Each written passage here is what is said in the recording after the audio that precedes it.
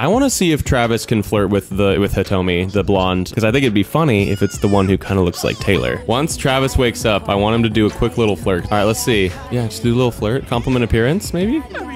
There we go. Okay. Come on, Travis. This is how you get your own independence and agency in this world. Ooh, she's into it. Let's go. Confess attraction. This is great. Yeah, let's see it. Let's see it. He's feeling confident. Ask if single. Yeah, because she might not be open to it though if, if she's not single. They don't care if Travis is single, I guess, but they're hitting it off. I mean, she's single. She just said she's single. Oh, She already does stay the night. That would, yeah, that's true. She just First sleeps kiss. here. First kiss. This is the first, First time that kiss. Travis is actually gonna kiss. Someone else besides Taylor. There's yeah. Taylor sleeping here we in the go. background. Here we go. I love that. Yeah, she's still sleeping. Nanny's Yes. Nice. Yes. This is so insane. I didn't even know you could do this, and I love it.